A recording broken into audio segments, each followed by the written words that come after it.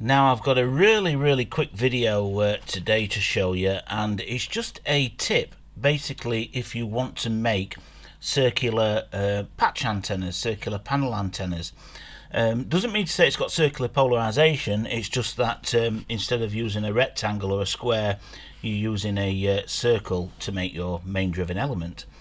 Now, this is something I came across on microwaves101.com. Uh, a guy posted there, and I'll put a link in the description, um, of how uh, he managed to uh, get a formula to convert the measurements for a uh, patch antenna like this one I've drawn out here. Um, convert those into a circular patch antenna and nine times out of ten it's absolutely bang on and doesn't need any further you know trimming a little bit off here and there.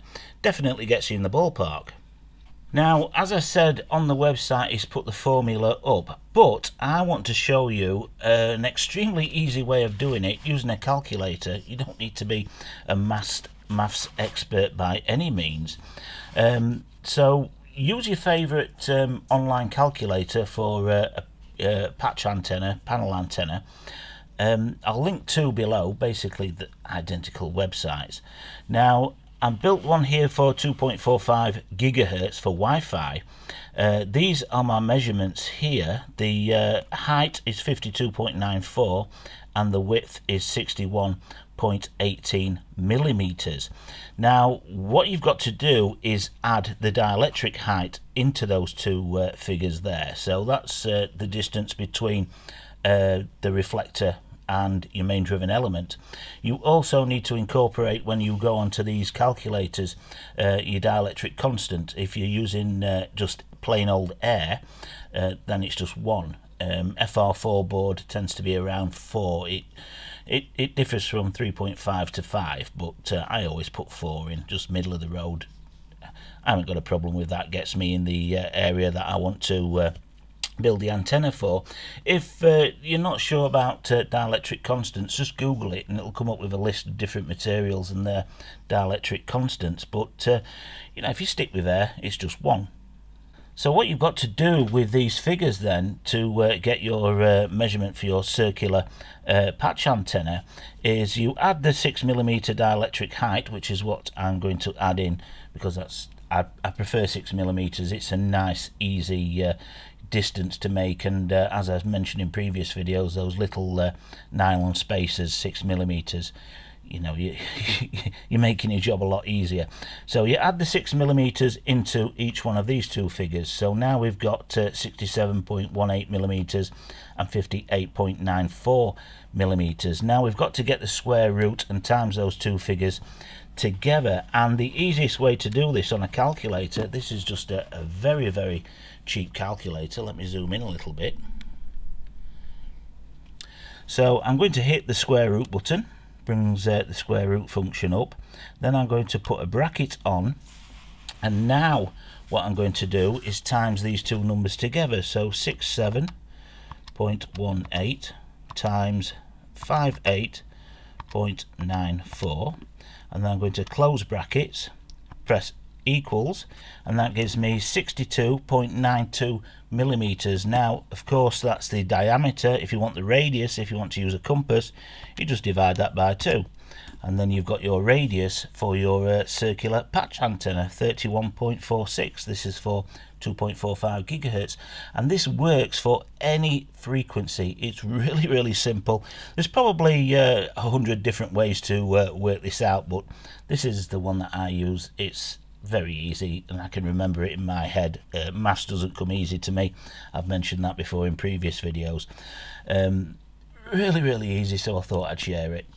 Now, another little tip, if uh, you want to uh, have a go at making these, is get yourself one of these cheap uh, vinyl cutter compasses. It's basically a compass with a uh, cutter in here to cut vinyl into perfect circles. This is a cheap one I got off eBay. Don't trust the measurements on here. Use uh, some calipers to get your correct measurement.